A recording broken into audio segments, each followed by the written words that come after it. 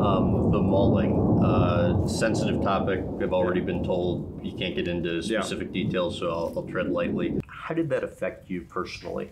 Yeah, well, yeah, uh, to this day, I mean, you affected. Um, nothing um, prepares you.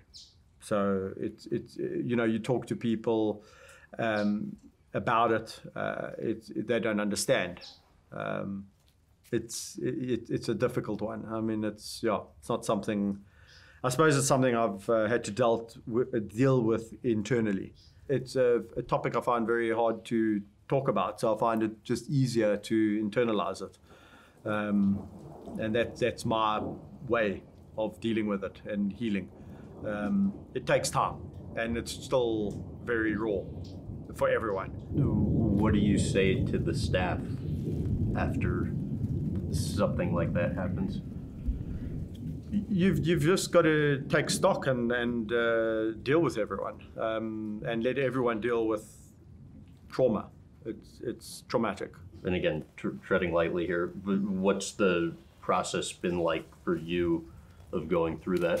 Well, I mean, you need to reassess everything, obviously, and that's what I've had to do, and and and think long and hard about uh, what your impact is and what you would like to continue to do.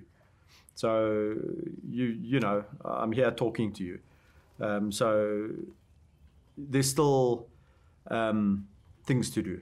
Uh, and I think that's important in, in my work with, with these animals. We've talked so much about all of your interactions with the lions over all of today and during the interview. Um, how do you address it with the lion after something like that?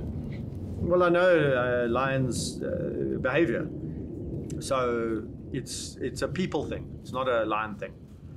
Uh, lions behave like lions, you know, so I understand the behavior. So there's not nothing to address with the lion. Yeah.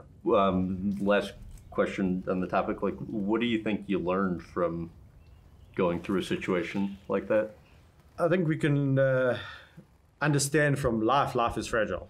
I mean, that's that's uh, one thing that's very. Um, I still think about a lot. Is life is fragile, and you need to embrace life. You you you you have a choice um, when you wake up in the morning.